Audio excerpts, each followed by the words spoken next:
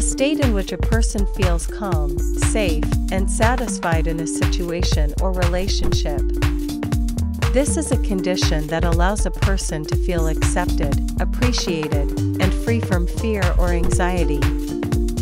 Here are some ways to create and maintain a feeling of comfort, safe environment. Create an environment that is free from physical or emotional threats.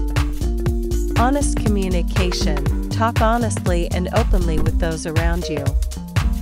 Calming routine, establish a stable and consistent daily routine. Can be predicted to reduce uncertainty. Self care, doing self care, such as taking a warm bath, drinking tea, or doing enjoyable activities, healthy relationships, surrounding yourself with supportive and caring people. Comfortable clothing, wearing clothes that makes you feel comfortable and free to move. Relaxation activities, doing activities such as listening to music, reading, or watching a movie you like. Managing stress, using techniques such as meditation, deep breathing, or yoga to relieve stress. Creating personal space, having a place or space a person where you can feel calm and relaxed.